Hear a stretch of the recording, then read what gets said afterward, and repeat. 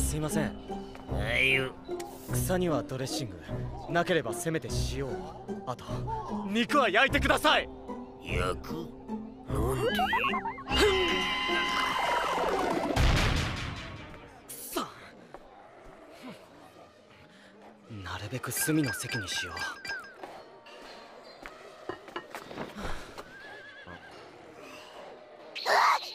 こいつ入学式のバカ犬食事中の動物に不用意に近づくのは極めて危険である。特に肉食動物は獲物を横取りされると感じ激しく威嚇してくる。その時は慌てて逃げたりせずそっぽを向いて争う気がないことを伝えれば安心する。それでもそばにいる限り警戒されるので手っ取り早く仲良くなりたい場合はほらよ。発で懐く。けだものめ。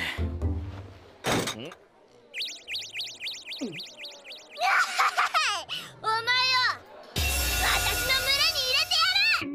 は？私は狼なんか。誇り高き狼のボスよ。今から縄張りに案内するからついて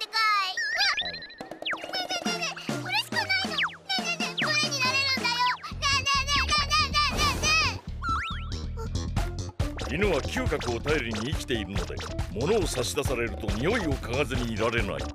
せい